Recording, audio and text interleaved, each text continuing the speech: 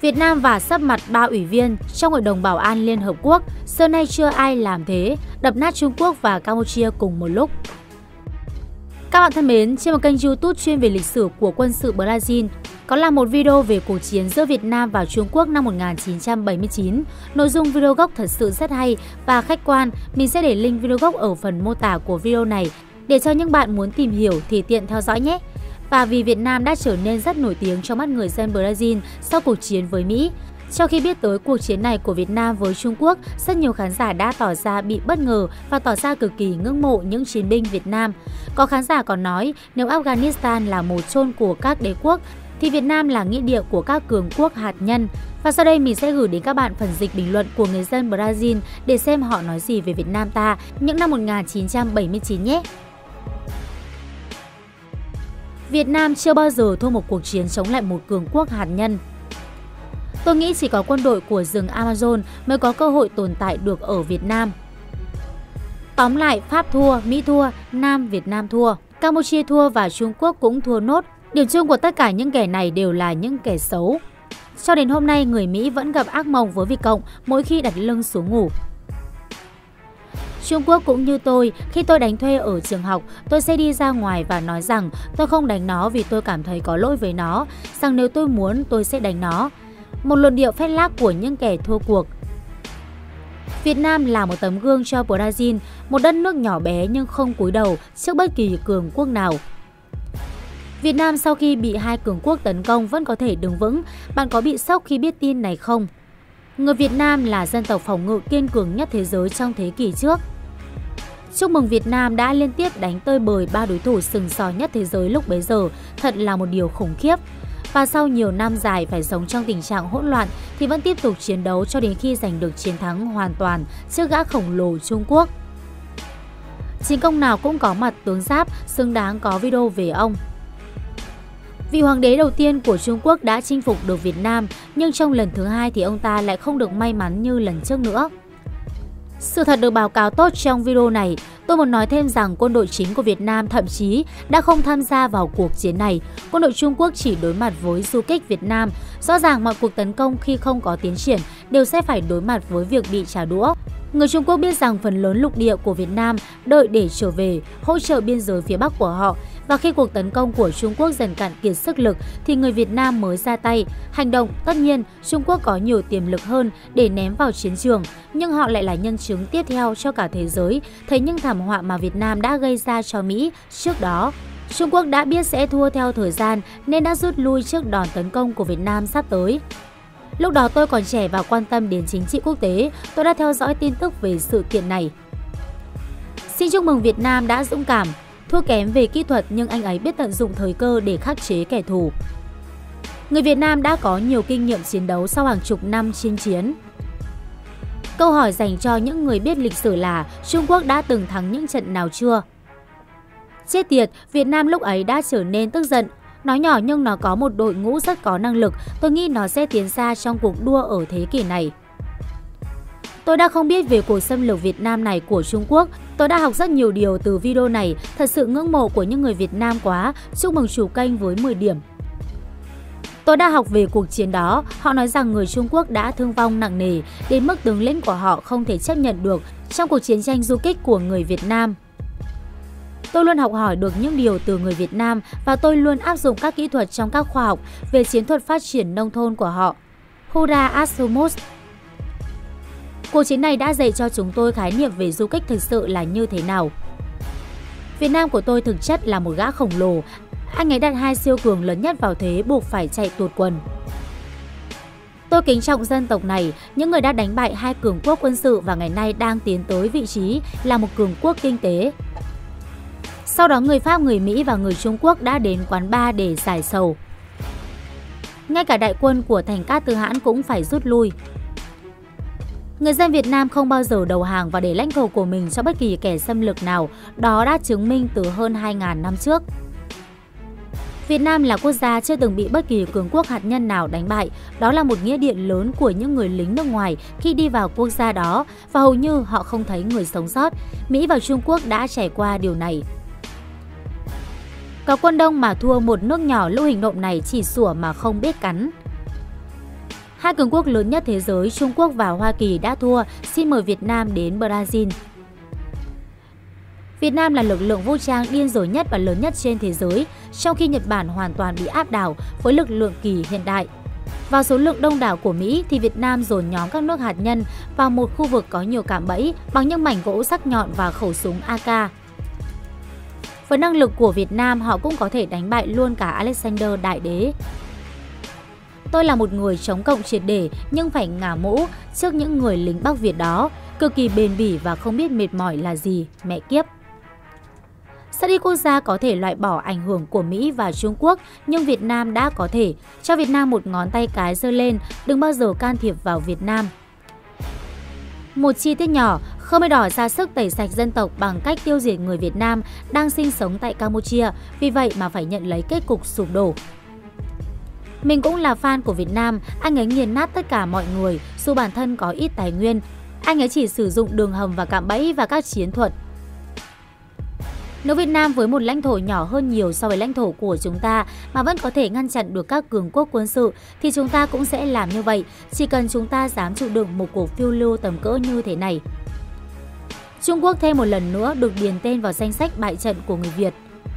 Trung Quốc vẫn luôn cố gắng xâm chiếm Việt Nam nhưng họ không bao giờ thành công. Người Hoa có rất nhiều tiền nhưng lại vẫn thua bất cứ ai khi mà nó phải đối mặt. Đó là lý do tại sao ngày nay bọn họ chỉ biết sủa nhưng không biết cắn. Chỉ có ở Việt Nam mới có thể xâm lược Việt Nam. Tôi đang nghĩ rằng Việt Nam là một phần của Brazil đang thiếu, đó là họ không bao giờ bỏ cuộc. Họ đẩy người Pháp và người Mỹ và người Trung Quốc vào một cuộc tháo chạy, trời hạ những chiến binh điên rồ.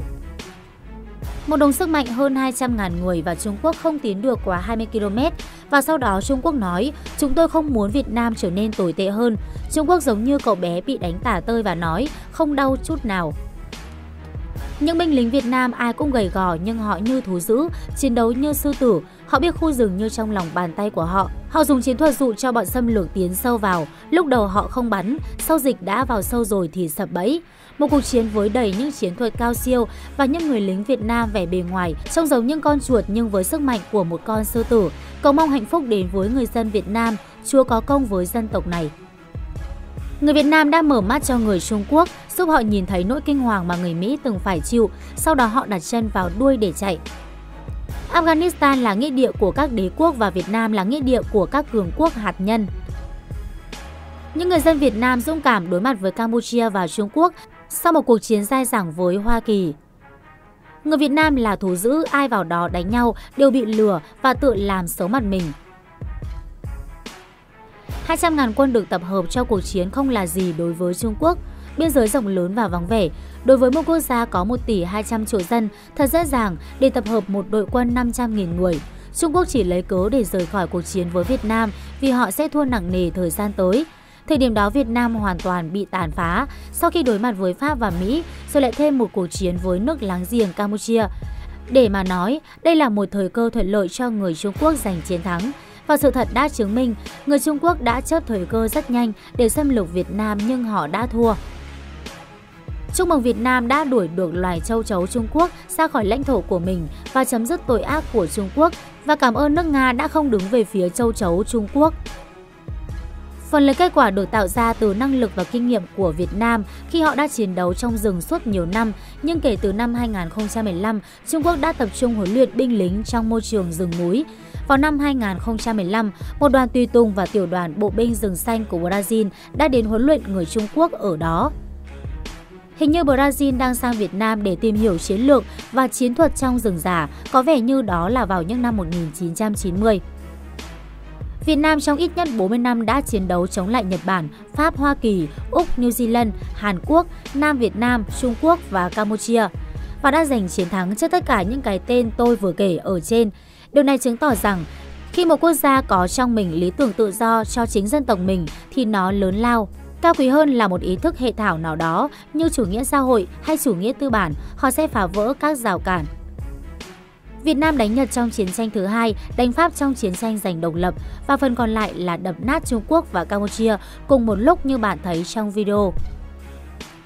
Việt Nam đúng là bất khả xâm phạm, nếu cả Hoa Kỳ và Trung Quốc đều không thể xâm chiếm quốc gia đó thì không ai có thể và các chiến binh Amazon cũng vậy. Thậm chí có vẻ như Chúa đang ở Việt Nam và bảo vệ họ. Nói thật nhé, dân tộc Việt Nam xuất thân là những chiến binh bẩm sinh vì họ đã có thể đánh bại hai cường quốc Mỹ và Pháp, đánh Khmer Đỏ, để diệt trừ những kẻ tàn ác trong khi vẫn chống lại Trung Quốc, không còn nghi ngờ gì nữa, họ là những chiến binh giỏi nhất mà Liên Xô từng hỗ trợ. Nhiều người Brazil trong các bình luận nói rằng quân đội rừng rậm Amazon sẽ thắng trong cuộc chiến chống lại người Việt Nam. Điều đó làm tôi tức quá. Brazil năm 64 được trang bị kém hơn và hầu như không có kinh nghiệm thực tế trong rừng rậm. Người Mỹ và người Úc đã chiến đấu ở Thái Bình Dương. Người Úc đã có kinh nghiệm chiến tranh trong rừng CBI và Malaysia, vậy mà họ vẫn thua Việt Nam. Vì vậy thật sự không có gì để những chiến binh rừng rậm Amazon những năm 60 có thể thay đổi được tình thế khi đối mặt với Việt Nam. Điều đáng ghi nhận là đại đa số binh lính Việt Nam tham chiến là phụ nữ. Việt Nam là kẻ duy nhất tát vào mặt Mỹ, phỉ báng Trung Quốc và sau đó làm bạn với cả hai. Đây chính là khi người Hoa phải nếm mùi đau khổ khi đối mặt với Việt Cộng. Việt Nam giống thằng lùn, gầy mà đánh nhau giỏi. Câu chuyện về cuộc chiến này thế giới đã không nói đến. Tôi đã luôn nghĩ từ thời trung học của mình rằng chỉ có Hoa Kỳ đến xâm lược Việt Nam, nhưng nay Trung Quốc cùng số đông nhằm áp đảo Việt Nam và thất bại nhục nhã khi tình yêu của tôi đối với Việt Nam thậm chí còn lớn hơn. Tôi muốn xem Afghanistan đấu với Việt Nam. Câu hỏi tự đặt ra là tại sao ba cường quốc lại ham muốn lãnh thổ của Việt Nam đến thế? Cuộc chiến giữa các chiến binh rừng rậm Amazon và Việt Nam sẽ như thế nào nhỉ? Trở thành cường quốc hạt nhân không quan trọng, quan trọng bạn phải có chiến lược giống như người Việt Nam đã hoạch định ra. Trung Quốc, nếu chúng tôi muốn, chúng tôi đã đánh chiếm Hà Nội, vậy tại sao họ không tiến lên? Mỗi người từ Trung Quốc đều mong muốn nhìn thấy Hà Nội mà. Lực lượng vũ trang của chúng tôi là một trong những lực lượng tốt để chiến đấu trong rừng, nếu không muốn nói là tốt nhất. Nếu ai xâm chiếm Amazon là tự sát. Người Trung Quốc bối rối khi đi vào mảnh đất của những kẻ thù. Người Việt Nam sẽ không bao giờ mất một tấc lãnh thổ của mình cho kẻ khác. Việt Nam và sắp mặt bao ủy viên trong Hội đồng Bảo an Liên Hợp Quốc, xưa nay chưa ai làm thế. Điều đáng ghi nhớ là đại đa số binh lính Việt Nam tham chiến là phụ nữ. Việt Nam là kẻ duy nhất tát vào mặt Mỹ phỉ báng Trung Quốc và sau đó làm bạn với cả hai. Cường quốc lớn nhất thời bấy giờ, mất hàng chục nghìn binh lính vào tay, những người nông dân có vũ trang giữa rừng rậm, cuối cùng không chịu nổi áp lực phải rời đi. Đó còn hơn cả một trận đòn. Sau đó Trung Quốc không tin, cũng tò mò muốn thử sức mạnh của Việt Nam. Ngày nay, ngay cả Thủ tướng ở Việt Nam cũng trải qua khóa đào tạo quân sự trong quân đội. Việt Nam chưa bao giờ là bạn của Trung Quốc. Năm xưa thời Cộng sản Trung Quốc muốn Mỹ đi ra khỏi Việt Nam vì sợ Mỹ chiếm được Việt Nam sẽ áp lực lên ngay biên giới của Trung Quốc nên họ đã ủng hộ Việt Cộng trong cuộc chiến đó. Thật ra đến tận bây giờ quan hệ giữa Trung Quốc và Việt Nam vẫn bất ổn, nhất là thời điểm Trung Quốc muốn kiểm soát Biển Đông, mà nếu kiểm soát được sẽ là mối nguy hiểm cho Việt Nam, Việt Nam có vẻ quan hệ chỉ tốt với Mỹ. Việt Nam và địa hình chiến tranh cũng giống như Brazil, nhưng chiến thuật thì hai nước khác nhau. Việt Nam là một dân tộc rất máu chiến, không nghi ngờ gì nữa. Xin chúc mừng Việt Nam! Các bạn thân mến, trên đây là những bình luận của người dân Brazil. Khi nói về cuộc chiến tranh biên giới năm 79 của Việt Nam, các bạn nghĩ sao về những lời nhận xét này của họ? Hãy để lại ý kiến của mình ở phần bình luận bên dưới nhé! Còn bây giờ video của mình xin phép được kết thúc tại đây. Cảm ơn tất cả mọi người đã quan tâm theo dõi.